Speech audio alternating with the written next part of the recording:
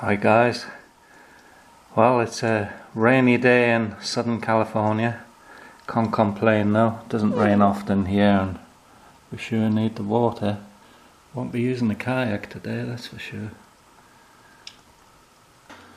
Okay, so as the weather's a bit a bit wet outside today, I'm gonna mess about with a with a lock.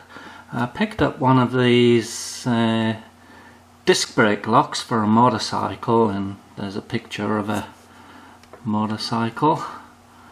So they actually do recommend using these things on motorcycles which which I really don't. I wouldn't use it on anything personally but um, these things are selling by the thousands so there's obviously lots of people out there who are entrusting their valuable motorcycle or bicycle or scooter with one of these things. Uh, round about 15 bucks seems to be average. Right, let's have a quick look at what they say about it. Right. 120 dec decibel loud alarm, water weatherproof, where I'll, I'll dispute that, but um, self-activating motion sensor, da da da da da material, metal. well, we'll look at that later. Alright, so, so, so here's mine. We got it here, so let's let's take a closer look at it. Um, I'll show you the operation of it and I'll show you what's inside and and then we'll get to work picking it and see actually how strong this thing is with a brute force attack. Comes with two keys. Uh, just show you the lock there. There's the lock. It's one of those newer type locks. If you can tell there, it's a seven pin tubular, but it doesn't have the notch out of the out of that um, bottom piece there like a lot of other ones do. Anyway, let's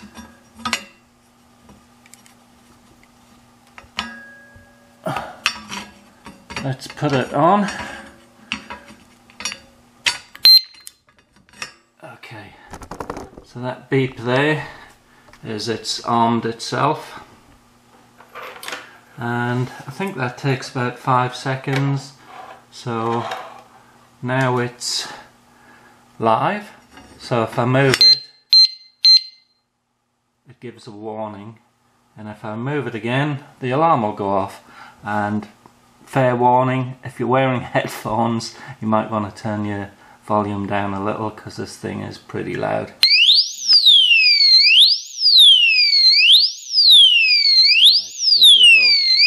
Turn the alarm off, put the key in. So to turn the alarm off, put your key in and unlock it. Okay, so that's how it works. Just a quick note for you lock pickers, your um, you know all about these tubular lock picks well you can't use these ones because as you see yeah, find something to point with. As you see inside here there's the round bar the pin because it goes into that's designed for for the more common tubular lock so can't use them because the the pin gets in the way. There's no recess for it. There's no recess there for that that pin gets in the way. You could pull the pin out I'm pretty sure. I was gonna do that. I was gonna pull the pin out but then I decided to buy one of these and this one doesn't have the pin in, in the middle there, see the difference? Yep, this one doesn't have the pin, this one does have the pin. So, this one should fit inside here. Which it does, but before we get to picking, let's take a look inside. Let's take the cover off and take a look inside of it. Okay, so these locks come with an Allen key, an Allen wrench and there's four screws to take out. One, two and three, see that there, and four and that'll take this cover off. So I'll just get busy doing that.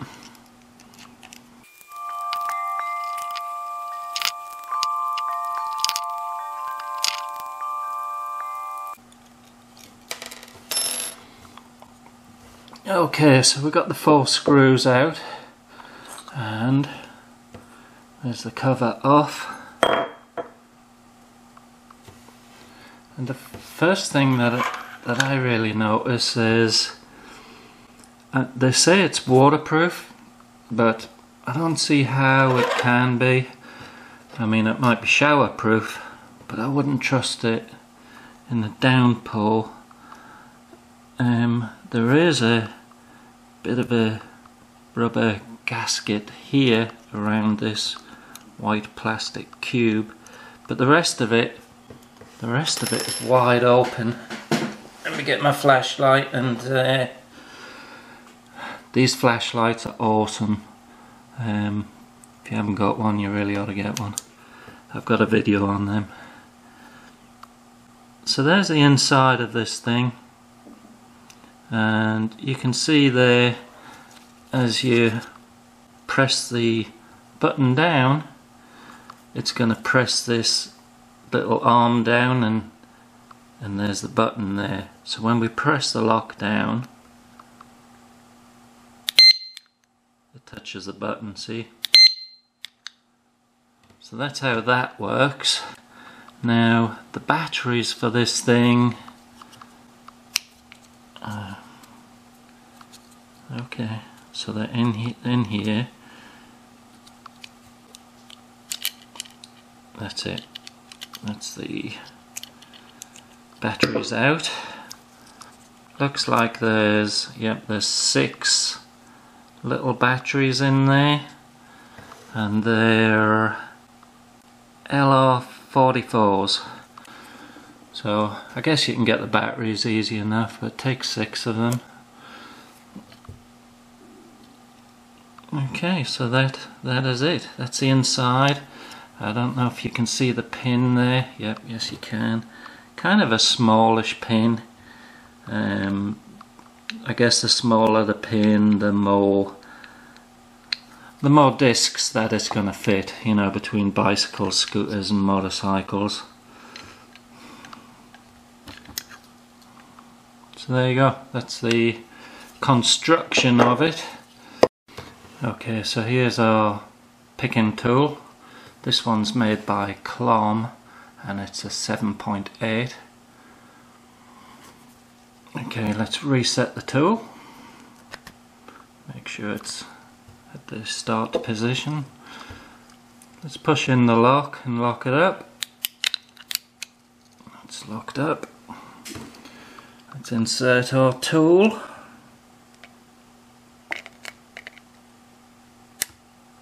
There we go. Put it in, give it a bit of a wiggle around, and there we go, it's unlocked. So that's how secure it is against picking. Not very, I'm sure you'll agree.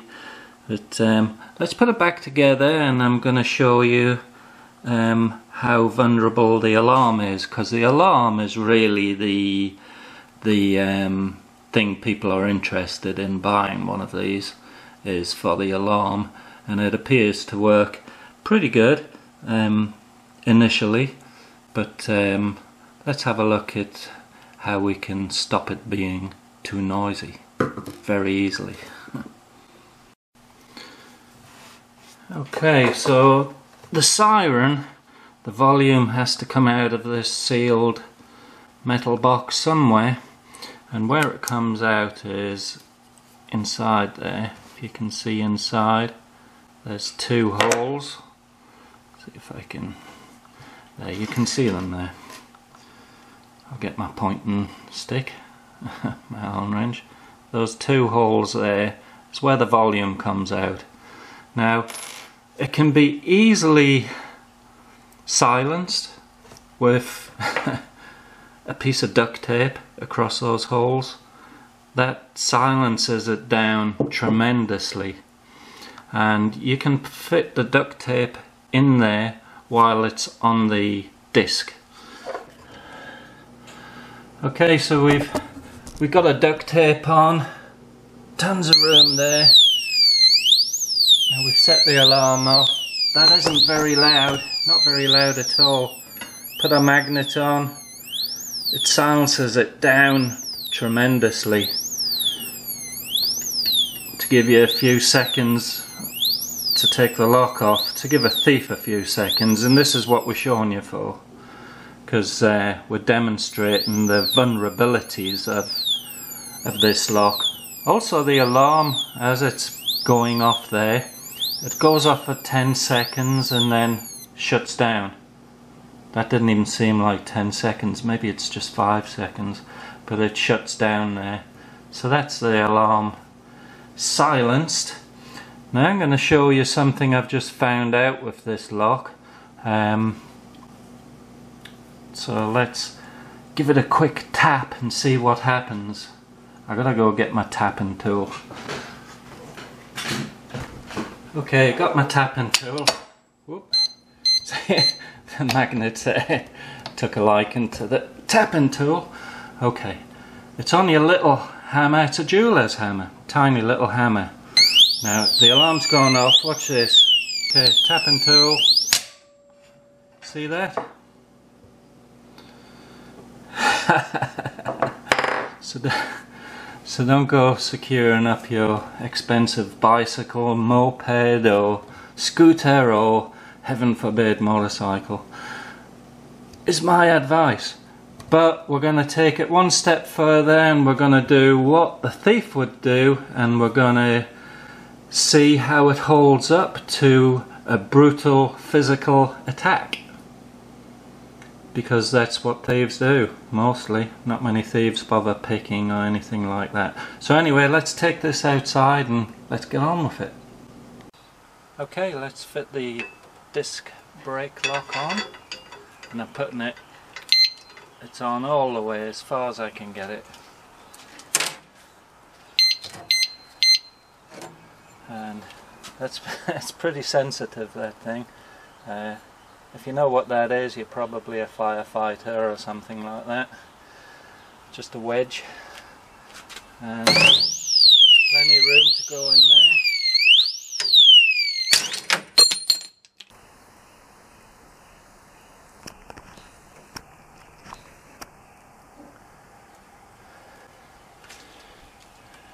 There you have it. Didn't put up much of a fight. Let's take it inside and have a closer look at it. Plenty of room to go in there.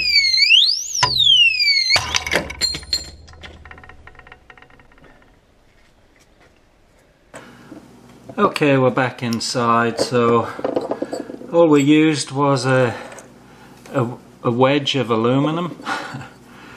um, if you're a firefighter, you've seen these things before because you use them. They're used for forcible entry. Um, they're wedging and bashing at the side of doors, uh, things like that. So it can give them a bit of a spread so they can get bigger levers in. So I mean, this thing is ever so light and just a hammer. You don't need a hammer as big as that. It's just what, what I had handy. But uh, that's how easy it is to bust into these this type of um, of disc brake lock. I mean that that's how it fell on the ground. One of the screws has just come out. It's, that's how it fell on the ground. And all when it says it's made of metal, well, they're not lying. It is a form of metal, but it's I call I call it pot metal. That's uh, that's crazy. so I mean these things are sold by the thousands. You look on eBay and the seller after seller selling hundreds and hundreds of them. So throughout, you know, just take eBay alone, there's thousands of these things being sold. And generally, if you're putting a lock on something, it's because you value it and you want to keep it. But um, I mean, these things are designed for motorcycles and expensive bicycles with disc brake lock with disc brakes on them and scooters and stuff. If you value it, spend it, spend a bit more money than 15 bucks on a on a on a lock, and but I will say be wary of this type of lock because I'd say probably 95% of them are made out of uh, zinc or some sort of pot metal just like this uh, or aluminum you know and it, it fractures ever so easy.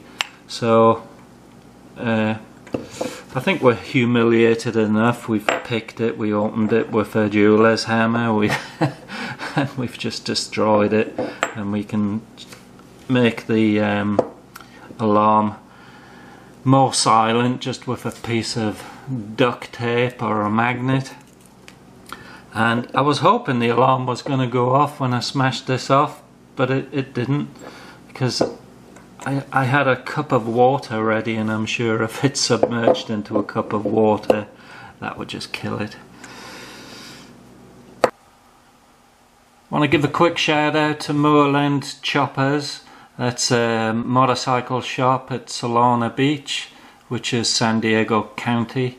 Uh, it's on the coast there, Highway 101. Awesome guys there. They donated this uh, brake disc to the Jolly Peanut channel to make this video more realistic. So again, thanks to them guys. Alright, catch you later guys.